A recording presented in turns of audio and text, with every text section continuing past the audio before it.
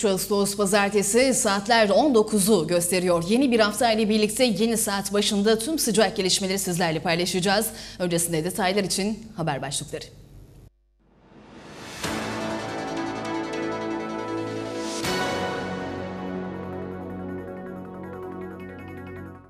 Ordu'ya yeni bir anaokulu kazandırılıyor.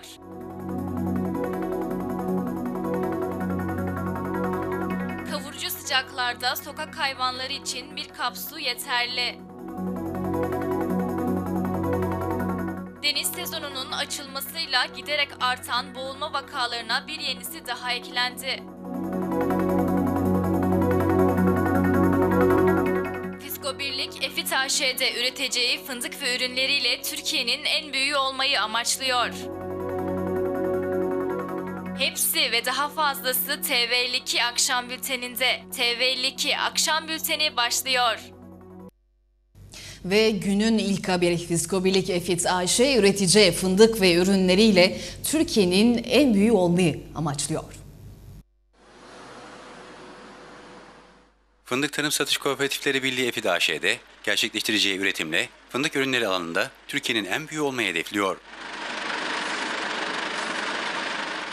Fiskobilik Yönetim Kurulu Başkanı Lütfü Bayraktar, EFİD AŞ ile yeni bir yapılanmaya girdiklerini belirterek, EFİD AŞ'nin yavaş yavaş fındık ve fındık ürünleri anlamında bütün ürünleri yapabilecek düzeye geldiğini söyledi. Yeni yatırımlar yaptık. Dolayısıyla EFİT AŞ bundan sonra da fındık ve fındık türleri anlamında bütün ürünleri yapabilecek pozisyona geliyor yavaş yavaş. Yani çok net söylüyorum. Tahmin ediyorum bu bayramda tekrar daha rahat insanlarımız, vatandaşlarımız görebilir. Yani çikolata anlamında da yatırımlarımız vardı. Bir kısmı sonuç vermeye başladı. EFİT AŞ inşallah önümüzdeki birkaç yıl içinde bu anlamda Türkiye'nin en büyüğü olacaktır. Yani. Belli bir kaliteyi tutturdukları anda Fiskobilik ismiyle satılamayacak ürün olmadığını bu çalışmalar esnasında gördüklerini kaydederek kremalı ürünlerin ve fındık ezmesinin sattıkları ürünler arasında önde geldiğini belirtti. Şu anda aslında bar çikolata yapıyoruz, butik çikolata yapıyoruz, hediyelik çikolata yapıyoruz. Ee, işte zaten Nuga vesaire onunla ilgili bir çalışmamız var. Tahmin ediyorum Eylül ayında yeni ürünümüz, yeni kavanozları tekrar piyasaya girecektir ya. Ee, yani fiskat eskiden e, bütün vatandaşlarımız hatırlar. Bir yaşı belli bir seviyenin üzerinde olanlar. Dolayısıyla bununla ilgili bir yatırımımız var. Fındıklı helva gibi. Bayraktar, Mısır, Irak, Almanya, Fransa ve Amerika'da temsilcilerin olduğunu ifade ederek sözlerine şöyle devam etti. Mısır'a, Irak'a, Almanya'ya, Fransa'ya, Amerika'ya temsil, Amerika'da bir temsilcimiz var. Yani bir temsilcimiz var orada psikobilik adına. Dolayısıyla e, bu bölgede satışımız var. Ordu'nun Perşembe ilçesinde denize giren ve boğulma tehlikesi geçiren iki kişiden biri çevrede bulunan vatandaşlar tarafından kurtarılırken bir kişi ise kayboldu. Kötü hava koşulları nedeniyle kaybolan kişiyi arama çalışmaları ise güçlükle sürdürülüyor. Ordu'nun Perşembe ilçesinde denize giren ve boğulma tehlikesi geçiren iki kişiden biri çevrede bulunan vatandaşlar tarafından kurtarılırken diğeri ise kayboldu. Edinilen bilgiye göre 10 gün önce evlendiği öğrenilen 29 yaşındaki Temel A, yakınları ve arkadaşlarıyla serinlemek için Çaka mevkisinde denize girdi. İsmi henüz öğrenilemeyen arkadaşıyla boğulma tehlikesi geçiren Temel A suda kayboldu. Arkadaşları ise çevrede bulunan vatandaşlar tarafından kurtarılarak kıyıya çıkarıldı. Kötü hava koşulları nedeniyle arama çalışmaları zorlukla sürüyor. Bu arada ihbar üzerine olay yerine gelen jandarma, sağlık ve arama kurtarma ekipleri sevk edildi.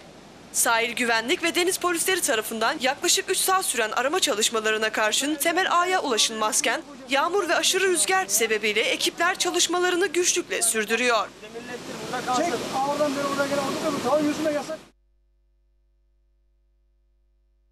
Sayın seyirciler, Ordu'nun Altınordu ilçesi Saraycık mahallesinde fındık hasadının başlamasıyla birlikte fındık toplayan vatandaşlar fındıkların içinin boş olduğunu, rekoltenin bu nedenden dolayı düşeceğini ifade etti. Bahçeye gel bahçeye, bahçeye gel bahçeye. Bol olsun, kuru fındık bol olsun. Ordu'nun Altınordu ilçesinin en erken fındık hasılına başlayan mahallesi olan Saraycık'ta üreticiler fındıkta hasar olduğunu savundu. Fındık ocaklarının dibinin içi boş fındık çotanaklarıyla dolu olduğunu belirten üreticiler, rekoltenin denilenin aksine daha düşük olacağını söylediler. Şu an Saraycık'tayız. Fındık başladı ama içleri nasıl? Sizce toplanabilir düzeyde mi? Güneş yakmış. Küf denilen bir şey var beyaz böylece fındık içi de boş. Ama da fındık da biriktiremiyor bahçede yani fındık da yok. Sizce hemen pazara indirilmeli mi bu fındıklar? Bence indirilmemeli. Neden peki? E, indirilirse fındığı tüccar ucuz alır. Vatandaş kendi düşünmesi lazım. 15 lira olursa anca kurtarır. Şimdi burada 25 kişi var çalışan 80 lira yemeye çalışıyor. Daybaşının yemiyesi çift yemeği 160 lira. 250 araba geliyor bu bahçe sahibine ne kalacak? He. Çuvalcı var. Çift yemeğe de o alıyor. Hepsi var işte araba parası şunu bunu zor yani iş. Peki satılan fındık karşılar mı sizce bunu? Vallahi burada bizim topladığımız bahçede karşılamaz. Sıkıntılı biraz. Çünkü sabahtan beri topluyoruz. Boş yani kabuk birikiyor çuvala. Başka da zor durum. Ya bizce boş. Ondan sonra yanık. E, birikmiyor, kabuk birikiyor. Yani çeşit döveceği belli bir şey. Fazla dövmez. Peki bunu hastalık mı etkiledi sizce? Evet. Duman, duman yağmurlu gitti, hastalık gitti. O yüzden yani birikmiyor yani kabuklu. Kabuk birikiyor. Açıklanan rekolteye uyacak mı sizce bu seneki fındık? Sanmıyorum. Peki hemen pazara indirilmeli mi? Hayır indirilmemeli. Peki ne yapılmalı? Üretici ne yapmalı? E, bekletmeli, depoya koymalı. Ondan sonra adam- kışa doğru satmalı. Fındığını da evine koysun, odasına kilitlesin, getirip tüccara vermesin. Şimdi tüccara verdiği zaman tüccar dediği parayı alıyor. He. Şimdi üç tane fındık var bir çotanakta. Bir tanesi sağlam, iki tanesi çürük. Boş, siyah, yanmış. Zaten yarısı düşüyor yerlerde hep fındık var sanki olmuş gibi. Sıkıntılı yani. Vatandaş indirirse kendi bilir. İndirmemesi lazım şeye pazara. Bence üretici belirlemesi lazım. İndirmese pazara malı para eder. Ama indirirse tüccar dediği parayı alacak adam. O da para kazanmak için çalışıyor sonuçta orada. Peki sizce nedir amcacığım fındığın durumu? Biz, bizce fındığın durumu çok zayıf. Fındık üretici pazara indirmesin fındığını. Fındığını evinde saklarsa daha iyi olur. Tüccara verirse tüccar istediği fiyatı alıyor. Peki fındığın fiyatı ne olmalı? Fındığın fiyatı 15 lira aşağı olursa kurtarmaz. Ne üretici kurtarır ne toplayanı kurtarır. erkenden tüccara indirmemesi gerekiyor. Çünkü 11 ay bunu beklemiş, emek çekmiş. 11 ay sonra satıyor, ucuz paraya satıyor. İlk piyasada fındık her zaman ucuz olur. Çünkü arz talep meselesi. Fındık birden geldiği zaman tüccar istediği parayı alıyor. Bir de okulların açılma şeyini takip ediyorlar. E, efendim bankalardaki kredileri takip ediyorlar. Tüccarlar bunları takip ettiği için para etmiyor. Vatandaş bunu kredisini şunu bunu ayarlayıp sürekli bunu takip edip fındığını saklaması gerekiyor. Peki fiyat ne olmalı? Fiyat 15'in altına düşmemesi gerekiyor. Evet, hepimizin bahçesi var, hepimiz emek çekiyoruz. 15'in altına düşerse zarar eder. Bence İstanbul, Ankara il dışına çıkanlar fındığını evine, evine bıraksa daha güzel olur.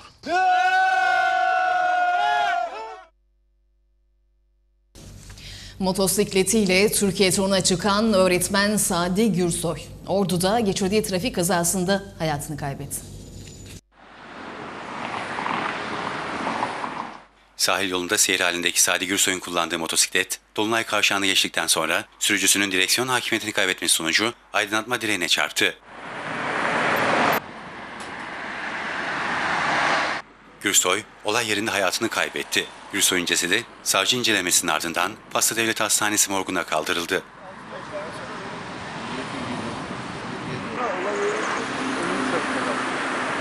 Hayatını kaybeden sürücünün arkadaşı Sebahattin Tomaç, Sadi Gürsoy'un Muğla'nın Fethiye ilçesinde öğretmen olduğunu belirterek motosikletle Gürcistan turuna çıktıklarını söyledi.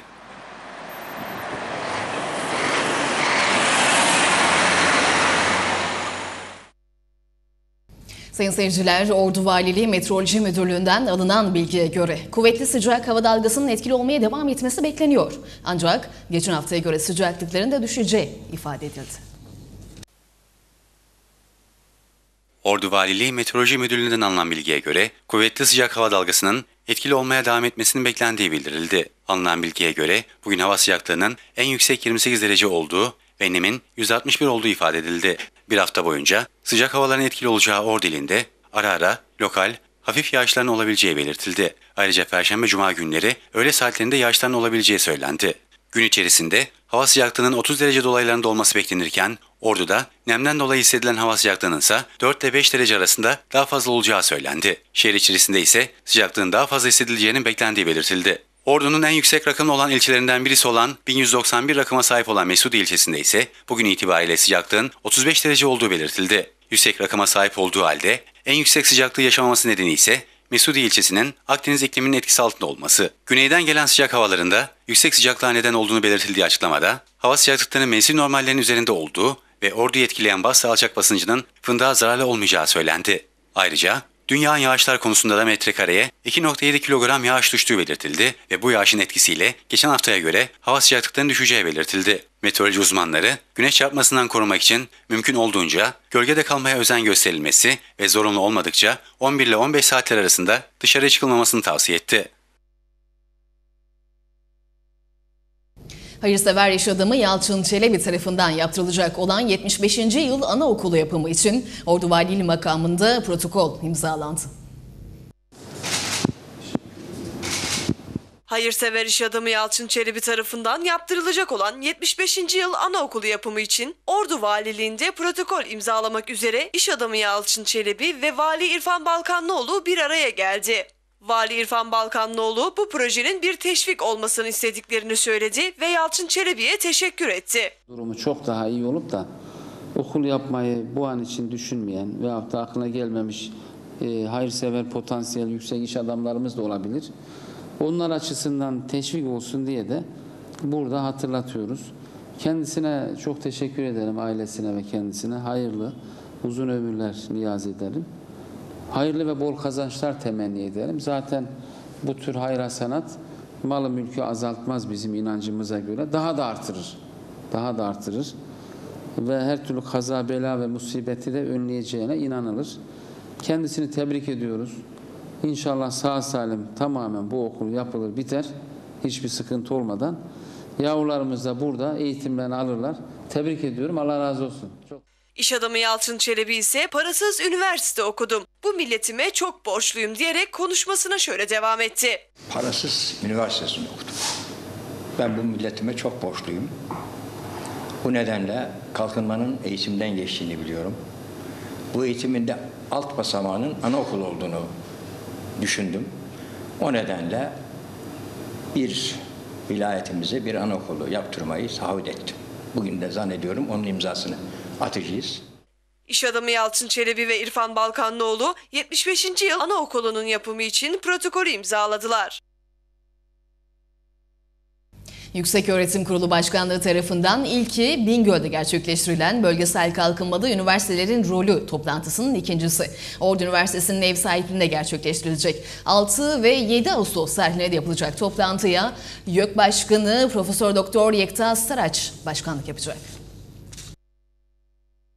Yüksek Öğretim Kurulu Başkanı Profesör Doktor Yekta Saraç'ın başkanlığında 6-7 Ağustos tarihlerinde Ordu Üniversitesi'nde yapılacak olan toplantıda ülkelerin gelişme ve kalkınma odaklı stratejileri için hazırlanan bölgesel gelişme ulusal stratejisi kapsamında üniversitelerin bulundukları bölgelere sağlayacakları katkının önemi üzerine durulacaktır. Bölgesel gelişimin en önemli gündem maddesi olacağı toplantıya Yükseköğretim Kurulu Başkanı Profesör Doktor Yekta Sarıç'ın yanı sıra Yükseköğretim Kurulu üyeleri Adana, Ahi Evran, Aksaray, Amasya, Bayburt, Bilecik, Bozok, Bursa, Teknik, Çankırı, Karatekin, Düzce, Giresun, Gümüşhane, Hitit, Karabük, Karamoğlu Mehmet, B. Kastamonu, Kırklareli, Kilis 7 Aralık, Mehmet Akif Ersoy, Namık Kemal, Nevşehir, Hacı Bektaş Veli, Ordu, Osmaniye Korkuz Ata, Recep Tayyip Erdoğan, Sinop, Uşak ve Yalova üniversitelerinin rektörleri katılacak. Üniversitelerin bölgesel gelişmeye katkısı odaklı 5 başlık altında değerlendirmelerinin yapılacağı toplantı hakkında bilgi veren Rektör Profesör Doktor Tarık Yarılgaç toplantının Ordeli ve üniversitemiz için önemine değindi. Biliyorsunuz üniversiteler e, hem şehrin hem bölgenin hem de insanlığın önünde lokomotif olarak e, kendilerini gösteren ve bir şekilde de onlara önderlik eden, rehberlik eden ve insanlığa da faydalı hizmetler sunan e, en önemli kurumlar.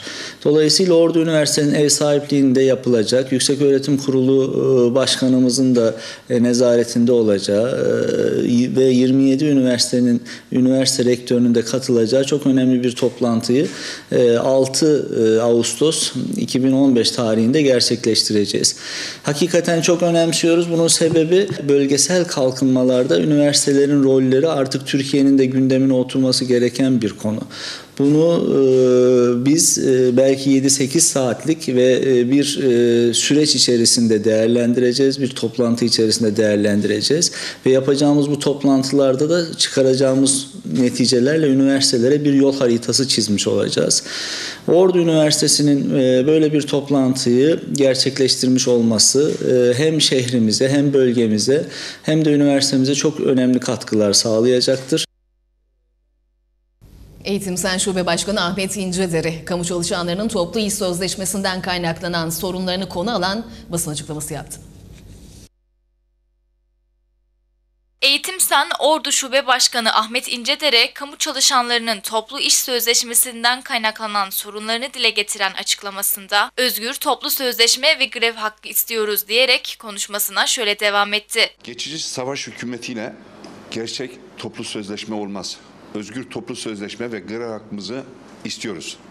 Değerli basın emekçileri, ülkemiz son 20 gündür kan gününe dönmüştür. Yoksul halk çocukları oy hesabıyla güç hesabına kurban edilmektedir. Yeter. Kamu emekçileri olarak hemen şimdi barış diyoruz. Bir arada yaşamı savunuyoruz. 4688 sayılı yasa ile kamu emekçilerinin hak ve çıkarlarını koruyup geliştirecek gerçek bir, bir TİS yapmak mümkün değildir. Masa sorumludur. Çünkü yüzdelik zam dışında kamu emekçilerinin mali, sosyal, özlük, demokratik hiçbir sorunu ve talebi masada konuşulmamaktadır. 90 TL aile eş yardımı, çocuk başına aylık 232 TL çocuk yardımı, aylık 276 TL yemek yardımı, aylık 395 TL kira yardımı, ulaşım için aylık abonman bilet asgari ücret tutarında yılda iki kere ikramiye ödenmelidir. 2. 4688 sayılı yasa ilo numaralarına ve ahim kararlarına göre düzenlenerek özgür toplu sözleşme ve grev hakkı tanınmalıdır. 3. Özelleştirilmeler durdurulmalıdır. Sözleşmeli, teşoran, esnek, kuralsız çalışma yasaklanmalı. 4B, 4C kadroya alınmalı. Herkese güvenceli iş ve gelecek sağlanmalıdır. 5. Kamu ve özel sektörde dahil tüm çalışanların ücretlerini asgari ücret tutarında kısmı vergiden muaf tutulmalı. Üzerindeki miktar için vergi kesintisinin en alt sınırına sabitlenmelidir. 6. Tüm ek ödemeler emekliye ve emekli aylığına yansıtılmalıdır. Çalışanlara verilen promosyon tüm emeklilere de verilmelidir. Ordu Arı Yetiştiricileri Birliği Başkanı Necati Aydın, Doğu ve Güneydoğu'da yaşanılan çatışmaların arıcıları korkuttuğunu ancak şu an için bir sorun olmadığını ifade etti. Ordu Arı Yetiştiricileri Birliği Başkanı Necati Aydın, Doğu ve Güneydoğu'daki arıcılarla ilgili açıklamalarda bulunarak bir sorun olmadığını belirtti. Şu anda arıcılarımızda Doğu ve Güneydoğu Anadolu bölgesinde e, kayda değer bir sıkıntı yok e, çok şükür. Daha önce olmuştu Erzurum Karayazı'da onu biz çözmüştük. E, ama şu anda e, Doğu Anadolu bölgesinde bilhassa e, devlet tamamen araziye hakim vaziyette her tarafta var. Ama bundan önce e, çözüm süresi, barış süresi diye çok da o bölgelerdeki gezilmiyordu. Ama şu anda arazide her yerde e, asker, ordu bereliler var. E, bu da bizim aracımıza bir güç katıyor. Yani asker işte yolda, arazide gezerken elik. Şu anda bir sıkıntı yok. Başkan Aydın ancak arıcıların çok tedirgin olduğunu da sözlerine ekledi. Arıcılarımız yine de çok tedirgin. E, arıcımız balı çıkarttığı zaman da Eylül ayının sonuna kadar bekletebiliyordu orada. Ama şu anda arıcımız diyor ki ben diyor bal, günlük balım çıktığı anda ya depoya ya ortaya balımı getirmek zorundayım. Yakabilirler, birisi gelir. Yani kimse çalmaz, gelip almaz ama e, görüyoruz oralarda e, bazı olaylar oluyor. Araçları yakıyorlar, yollar kesiliyor falan. E, Böyle tabii ki aracımız çok tedirgin ama inşallah e, bu tedirginlik geçer diyoruz. Yazın gelmesiyle birlikte sokak hayvanları su ihtiyacıyla karşı karşıya kalıyor. Karadeniz Hayvan Hakları Grup Başkanı Aziz İşbakan, sokak hayvanları için kapı önlerine bir kap su koymamız gerektiğini söyledi. Kavurucu sıcaklar başladı. Peki bu sıcak havalarda sokak hayvanları için ne yapabiliriz? Karadeniz Hayvan Hakları Grup Başkanı ve Hayvanları Yaşatma, Doğal Ortamlarını Koruma ve Sağlama Derneği Başkanı Aziz İşbakan, su bulamayan sokak hayvanları için evimizin önüne bir tas su ve yiyecek bırakmamızın onlar için önemli olduğunu söyledi ve devam etti. Ee, sokak hayvanları bu sıcak günlerde çok zor durumdalar. Ee, onun için e, özellikle e, mahallelerde yaşayan insanlarımız e, kapılarının önüne bir kap su, e, bir kap yemek e, koyarlarsa çok iyi olacak. Hayvanların zaten e, bizden fazla bir şey istedikleri de yok. İşte e, yani bir kap yemek, bir kap su ve biraz da sevgi istiyorlar. E, işte hayvanlarımızı e, hor görmememiz de lazım. Yani şu anda sokağa salınan rehabilitesi biten birçok hayvan var. Görüyorsunuz sokaklarda. E, kediler haricinde köpekler büyük ihtimal e, büyük miktarda salındı. E, ama onların da e, su ve yemek bulamadıkları için insanların peşinden gidiyorlar. İnsanlarımız da işte peşimizden geldi diye korkuyorlar. Aslında onların tek e, amaçları yemek bulabilmek. Sayın seyirciler, Karadeniz'de yaşayan vatandaşların tansiyonunu kontrol altına almak oldukça zor. Çünkü aşırı derecede turşu tüketiyoruz. Öyle ki sabah kahvaltıda bile. Ordu Üniversitesi Tıp Fakültesi Kardiyoloji Anabilim Dalı öğretim üyesi Doçent Doktor Ahmet Kaya, turşu tüketiminin fazla olması nedeniyle Karadeniz'de yaşayan vatandaşların tansiyonunu kontrol altına almakta zorlandıklarını ifade etti. Kaya, Türkiye'de toplumumuzun %30'unda tansiyon hastalığı mevcuttur. 10 kişiden 3'ü hipertansiyon hastasıdır. Rakamlar son derece üzücü ve dikkat çekicidir. Bu noktada toplum maalesef tansiyon hastalığının pek farkında değil dedi. Türkiye'de yaklaşık toplumumuzun %30'unda e, tan- hipertansiyon mevcuttur. Yani yaklaşık %30 yapılan bu çalışmalarda e, 10 kişiden 3 tanesi hipertansiyon hastası. Ve bu hipertansiyon hastalarının maalesef %40'ı tansiyon hastası olduğunu bilmekte. Yani toplum bu noktada biraz e, farkında değil tansiyon hastalığının. Ve bunların da %30'u ancak tedavi aldığı gösterilmiş. Yani e, hipertansiyon tanısı olan hastaların düzenli olarak ancak %30'unun t- e, tedavilerine devam ettiği ve bu tedaviler neticesinde ancak %8'ini bizim kontrol altında tutabildiğimiz çalışmalarda görülmektedir. Karadeniz bölgesinde tansiyon vakasının çok sık görüldüğünü ancak buna karşın bölge halkının diyetlerine dikkat etmediğini belirterek şunları söyledi. Hipertansiyon hastalarından hastalığını kontrol edebildiğimiz kesim %8'e tekabül etmekte. Bunların nedenlerinden biri de e, tedavi uyumsuzluk işte demiştik. İlaçların düzenli kullanmaması. Bir de diyetine dikkat etmemesi yeterince. Özellikle Karadeniz'de bundan çok karşılaşmaktayız. Yani burada işte tuzlu, turşu kültürü, yani bundan vazgeçemediğimiz turşu kültüründen dolayı tabii tedavide e, yani tansiyonun kontrol altına almada ciddi zorlanma, zorlanmaktayız. E, Karadeniz'e özel bu diyet vazgeçemediğimiz için tabii e, Bunlar ne ürünler? yani bunlar daha çok işte burada turşu dediğim gibi en en çok o tuzlu turşu. Yani tuzlu olduğu için özel kahvaltıda bile yenebiliyor biliyorsunuz. İşte fasulye turşusu kavurmasından tutun diğer e, şeylere kadar salamura ürünler. Bunlar e, tuz e, tüketimi arttıkça tansiyonu kontrol altına alabilmemiz de zorlaşmakta haliyle. Bu da Karadeniz'e özgü bir e, ayrıca dikkat edilmesi gereken durum. Altınordu Belediye Başkanı Engin Tekintaş, başkan yardımcıları ve birim müdürleri ile Taşbaşı Mahallesi'nde incelemelerde bulundu. Bağlı. Şey olarak da. Mahalle ziyaretleri kapsamında Taşbaşı Mahallesi'ne giden ve sorunları yerinde inceleyen Altınordu Belediye Başkanı Engin Tekintaş, yapılması gereken çalışmalarla ilgili birim müdürlerine talimat verip sorunların bir an önce çözüme kavuşturulmasını istedi.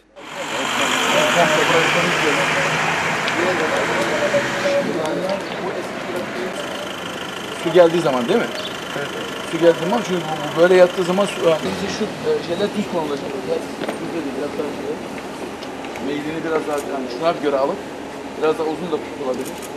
Yani. Mahalle ziyaretlerinde Başkan Tekin Taş'a, Belediye Başkan Yardımcıları Aydın Şaşmaz, Fatih Evli ile birim müdürleri de eşlik etti. İnsanlar böyle duruyor yani. Ne olacak? Oradan insan. Mesela onun yan tarafı yeşil alan da kamulaştırılacak. Taşbaşı Mahalle Muhtarı Reşit Arif Gürsoy, Altınordu Belediye Başkanı Engin Tekintaş'ı yaptığı çalışmaların takdirle karşıladıklarını ve mahalleleri adına çok güzel bir gün olduğunu ifade etti. Gerçi aşağısı, işte aşağıya şimdi o oyun oyunu orayı düzelteceğiz. Oraya fitness aletleri koyacağız, spor aletleri. Orayı biraz rahatlatacağız. Bu Vedat Güller'i rahat kullanabilirler çocuklar. Onu söyleyeyim. Ama şu yolda da azıcık bir şey yapmamız lazım, düzenleme yapmamız lazım. Nasıl iyi misin? Sağ olasın. Çocuklar oradan uzaklaştıralım. Ve bir çağrı Türk Kızılayı Genel Başkanı Ahmet Lütfü Akar, Ramazan'da azalan kan stokları için vatandaşları tekrar kan vermeye davet etti. Türk Kızılayı Genel Başkanı Ahmet Lütfü Akar, Ramazan'da azalan kan stokları nedeniyle vatandaşları kan vermeye davet etti. Akar, her yıl Ramazan ayında vatandaşların oruç tutmalarından dolayı kan bağışında azalma olduğuna dikkat çekti. Kan stoğunda %50'nin üzerinde eksilme olduğunu söyleyen Ahmet Lütfü Akar, bunun için her Ramazan özel tedbirler alıyoruz. Aldığımız önlemlere rağmen kan stokları eriyor. Ramazan sonuna geldiğimizde neredeyse sıfıra yakın kan stoğuyla karşı karşıya kalıyoruz, dedi. Ramazan dönemlerinde e, her hepimizin bildiği gibi insanlarımızın oruç tutmalarından dolayı e, kan donasyonunda eksiklikler yaşıyoruz. Yaklaşık yüzde 50'yi aşan radikal eksiklikler oluyor. Bunun için e, Ramazanlarda özel tedbirler alıyoruz. Ramazana girmeden daha fazla bir stokla Ramazana girmeye gayret ediyoruz ve vatandaşlarımızı özellikle oruç kaygıları izale olsun diye e, iftardan sonraları oruçlu değilken kan vermeye davet ediyoruz. Ama bütün buna rağmen kan stoklarımız eriyor. Ramazanın sonuna geldiğimiz zaman neredeyse sıfıra yakın bir kan stokuyla karşı karşıya kalıyoruz. Akar, bu yıl Ramazan sonrasında kan stoğunda %55 civarında bir azalış olduğunu belirterek vatandaşları kan vermeye davet etti. Yaklaşık %55 civarında bir azalış yaşadık ama çok şükür Allah'a herhangi bir kazaya belaya uğramadan, herhangi bir ihtiyaç hasıl olmadan Ramazan'ı geçirdik. Tabii Ramazan'da azalan kan stoklarımız için Ramazan sonrasında tekrar vatandaşlarımızı kan vermeye davet ediyoruz bu stokları tamamlamak için. Akar, kanın anlık değil sürekli bir ihtiyaç olduğunu da vurguladı. Kan bir seferlik değil, bir anlık değil sürekli ihtiyaç olduğunu, kanın sürekli ihtiyaç olduğunu belirtmek istiyoruz. Bugün e, bir başkasının kana ihtiyacı olur. Yarın bir başka ameliyatta, bir başka kazada, e, bir trafik kazasında, başka türlü organ nakillerinde kan ihtiyaçları hasıl oluyor. Bunun için halkımızı Kızılay'a kan vermeye ve bunu sürekli olarak vermeye davet ediyorum. Ordu'da sinemacı Ömer lakabıyla tanınan 78 yaşındaki Ömer Ataş, 27 yıl aradan sonra yeniden sokak anonsuyla vatandaşları açık hava sinemasına davet ediyor. Bu akşam saat 9.30'da Atatürk Parkı Ordu'nun Ünye ilçesinde yaşayan 78 yaşındaki Ömer Ataş, 27 yıl aradan sonra yeniden sokak anonsuyla vatandaşları açık hava sinemasına çağırıyor. Ataş, 1950'de açık hava sineması için ilk anonsu yaptıktan sonra 38 yıl çalıştı. 1988 yılında ise işi bıraktı. Ünye Belediyesi ile Ünye Kent Konseyi'nin Atatürk Parkı Amfik Tiyatrosu'nda düzenlenmeye başladığı 1. Açık Hava Nostalji Sinema Günleri için gelen davet üzerine 27 yıl sonra yeniden anons yapmaya başladığını vurgulayan Ataş, 1950 yılında tenekeden yapılmış boruyla başladığım sinema sektöründeki anons işini 27 yıl aradan sonra tekrar yapmanın heyecanı içindeyim. İlk anonsumu Parmaksız Salih adlı sinema filmiyle yapmıştım. Bu kez babam ve oğlum filmiyle yaptım dedi. ilk elime aldığım teneke boruyla Alo alo işte bu akşam yeni sinemada nedir ismi? Ee, Parmaksız Salih, namı diye Parmaksız Salih. Talat Artemel'in oynadığı o günlerin dram melodram bir filmiydi. Sırasıyla tabii bunlar geldi. Ataş, eski nostaljik arabayla şehir turu attığını ve anons yaparak açık hava sinemasına halkı davet ettiğini belirterek sinemanın makinistlik, afiş yapıştırma, temizliği gibi her kademesinde çalıştığını aktardı. Sinemanın kendisi için okul hayatı olduğuna işaret eden Ataş sözlerini şöyle tamamladı. destek veriyoruz. Bir para karşılığında değil, manevi olarak. Bu işi ben seviyorum. Benim okulum bu. Yine bugün dünyaya gelsem tekrar sinemacı olurum. Evet para piyasaları yeni bir haftaya nasıl başladı? Önce bir göz atalım ardından vedamızı gerçekleştireceğiz.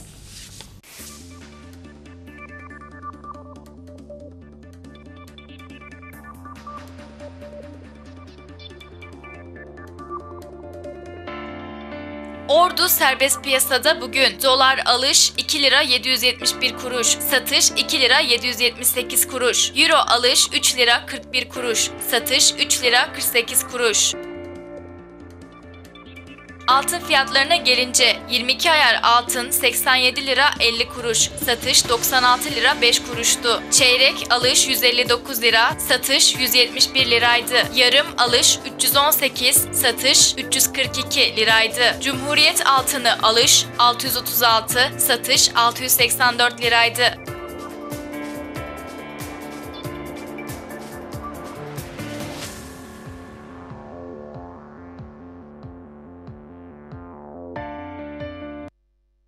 Noktadan duruyoruz. Birazdan spor dünyasındaki gelişmeleri takip edebilirsiniz.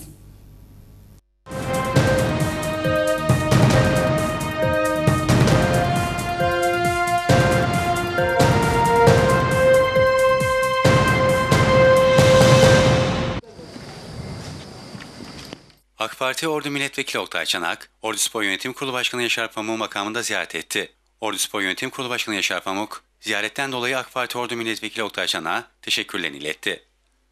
Vekil Çanaksa yaptığı konuşmada Ordu Spor'un işinin çok zor olduğunu, geçmiş dönemde yıpratılmış bir Ordu Spor olduğunu ifade etti. Ordu Spor'u yönetenlerin, Ordu Sporlu iş adamlarının e, bu görevi ifa ederken üzerine düşen yükümlülükleri yerine getirmesi gerekir.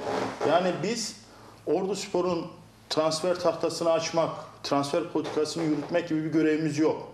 Bizim sadece destek verme gibi bir görevimiz var. Diğer unsurları oluşacak kulüp başkanı ve yönetimi takip edecektir. Onlar transferleri yapacaktır.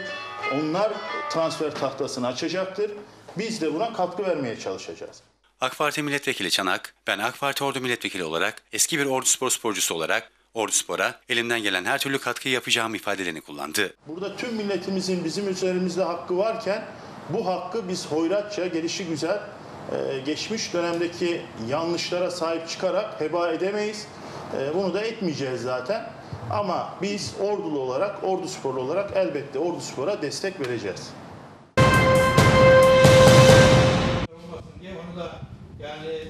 Eski Ordu Spor Teknik Direktörü Hüseyin Özcan da Ordu Spor Yönetim Kurulu Başkanı Yaşar Pamuk'u ziyaret etti.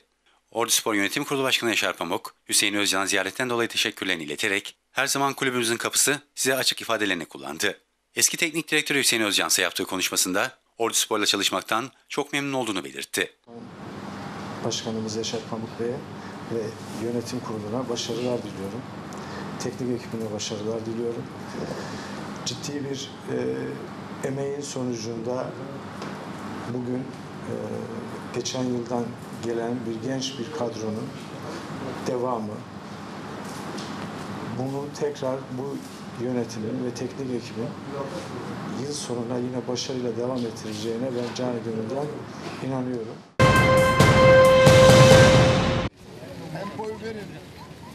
Ordu Spor Yönetim Kurulu Başkanı Yaşar Pamuk, yarın saat 10'da Ordu Spor Kulübü'nde gerçekleşilecek olan kongreyle ilgili açıklamalarda bulunarak tüm üyeleri kongreye davet etti. Biliyorsunuz 4 Ağustos saat 10'da kulüpte kongre yapacağız. Tüm hemşerilerimize kongreye gelmelerini, üye olmalarını, bu başarı olacaksa herkesin bir taş koymasını tüm kamuoyundan arz ve talep ediyoruz. 2,5 milyon ordulu var. Bunu devamlı söyleyeceğiz. Yüzde biri 25 bin. Yüzde biri destek verdiği anda bu takım arzu edilen yere gelir.